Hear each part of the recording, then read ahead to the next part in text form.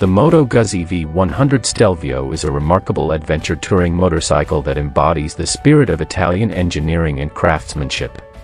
Named after the iconic Stelvio Pass in the Italian Alps, this bike is designed to conquer both the open road and challenging off-road terrains. While the Moto Guzzi V100 Stelvio holds promise, there are several potential flaws to consider. 1. Limited off-road authenticity.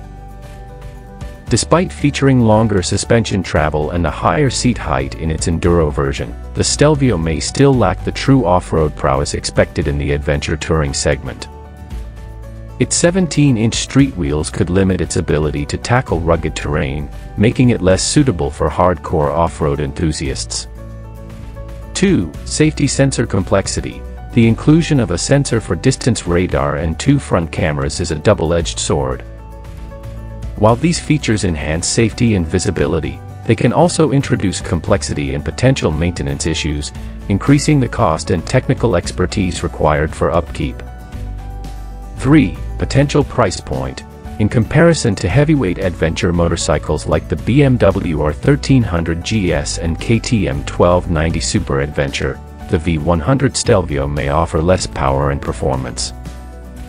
This could make it a challenging choice for riders seeking a high-performance adventure machine, potentially affecting its price-to-performance ratio.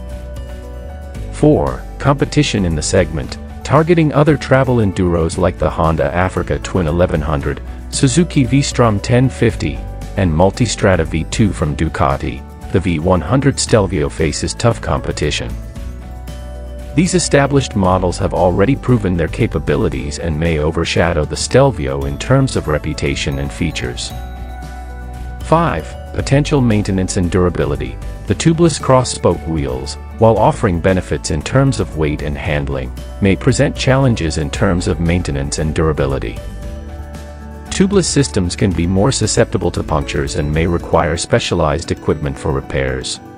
In conclusion, while the Moto Guzzi V100 Stelvio brings several exciting features to the table, potential buyers should consider its limitations. These include its off-road authenticity, the complexity of safety sensors, the price point competitiveness, strong segment competition, and potential maintenance challenges associated with its wheel design.